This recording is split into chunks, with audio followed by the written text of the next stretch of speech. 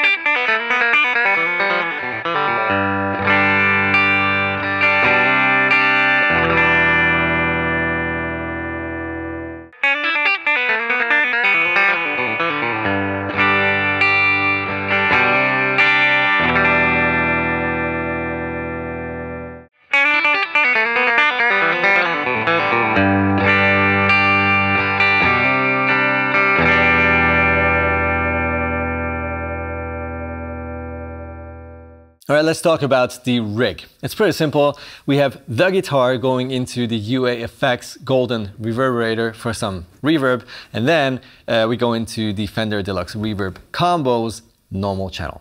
There's no reverb on the amp, nothing. And now let's move on to the second round, which is the overdriven comparison. The only thing that changes is that I put the Kesslater Toxic Twins in the signal chain, which is um, a very nice low gain, pretty transparent blues breaker style overdrive. Let's go for it.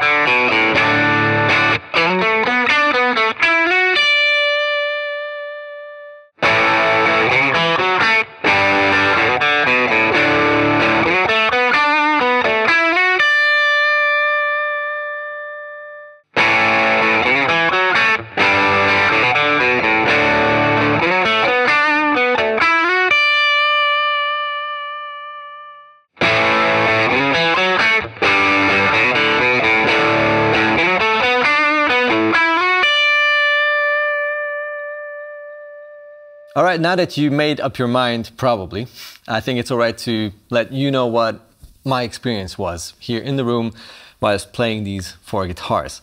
Uh, the price difference is pretty radical here. So we're going from 180-ish euros for the Harley Benton up to 600 and something 80 euros, something like that. In Germany right now, prices of course change. So as told, check the links in the description box for current uh, prices and situations and which is available, etc. They're all built really well, like surprisingly well, especially for the more inexpensive ones. Um, in terms of tone, there is a huge difference, of course, and even in terms of output, because these pickups, these are the MFD single coils, um, which are Leo Fender designed G&L pickups. These are so much louder and clearer and just more is more, those kind of pickups compared to any of the other ones. The Larry Carlton also had um, a, a bit more output for sure than the Squier and the Harley Benton. And uh, that also helped, of course, to get a bit more sustain and all those things, of course. Uh, you can simulate that with a, um, a clean boost between the guitar and the drive pedal or between the guitar and the amp. Uh, but just out of the box, there are big differences in the output of these pickups. Um, I loved the neck of the Larry Carlton most. It just has a nice and full neck, really cool, rounded off edges. So that, that was my, my number one, even though, as told, all four are really nice to play. Um, and in terms of weight, this is killer because it's a, it's a hollow body.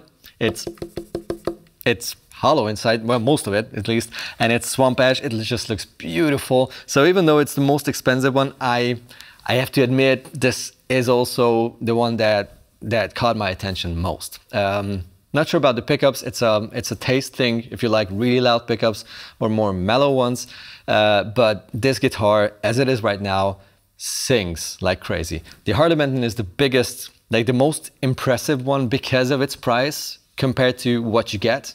Uh, the Squier Affinity is a huge, huge upgrade compared to the old Affinity series. So the neck is just one of the nicest ones out of the really um, inexpensive ones and just overall really nice uh, yeah, playing feel. All right, let me know in the comments below what you think about these four guitars. Uh, what kind of uh, Teles and Tele style guitars do you want to see in the other two videos that we're making for sure, which is gonna be a mid-priced and a really expensive Tele shootout. Subscribe to the channel if you don't wanna miss any of these videos and uh, see you in the next one. Bye-bye.